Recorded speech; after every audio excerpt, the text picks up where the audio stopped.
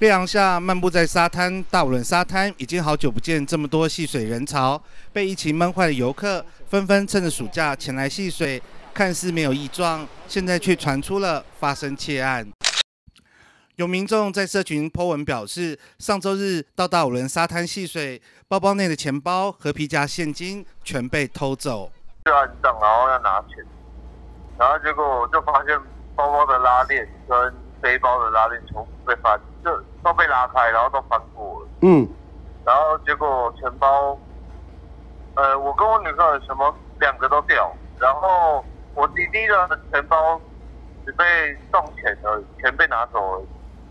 但让民众气不过的是，案发当下有报警处理，但警方却以现场监视器只有两只，远警以角度为由，加上只有重大刑案才能够申请指纹搜证，回应被害人的请求，让当事人很不舒服，质疑警方态度消极。他就是说，这边只有两只监视器，就是沙滩那边厕所门口有两间照着马路，就是照人家车牌的。然后说，在沙滩上，因为店家的监视器也没有办法照那么远。他就说，我现在希望得到什么样的协助？然后我就跟他讲说，还是有没有办法可以说帮帮他去验指纹之类的。嗯他就说，验指纹就是你要对方就是帮你钱包的那个，他有前科或者是案，才有办法说验指纹就可以抓他。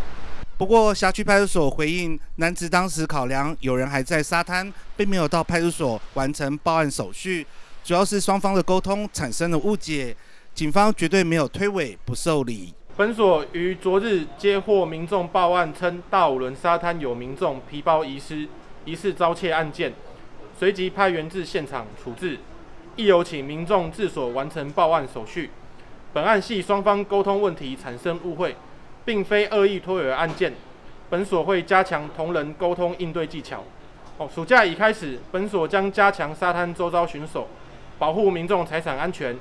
警方呼吁民众于沙滩游玩时，应注意自身财物摆放位置，勿造成宵小目标而造成财物损失。听到大五轮沙滩发生窃案，民众都很惊讶。不会啊，我们就会都会有人顾在那里啊。对，都会放到车子上面。哎，就是尽量。重贵重的不要带下来，哎，对，这样会比较那个好。你锁在车子上面比较安全。对啦，就是你，你知道要来这边，你怎么可能会放很多钱？不会放很贵重的东西啊，最多是手机跟几百块而已。嗯。基隆警方统计，道伦沙滩今年至今已经发生四件窃案，其中一件窃贼下手时当场被抓，另外三件事发之后民众报案还未查出嫌犯身份。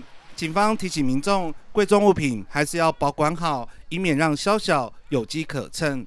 记者黄少明、基隆报道。